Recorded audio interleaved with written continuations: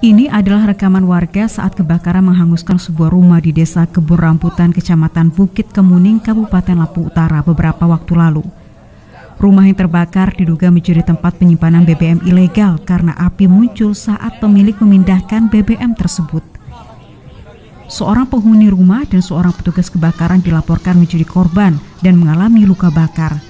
Dari lokasi satu unit truk tangki BBM disita sebagai bukti adanya praktek penjualan BBM ilegal.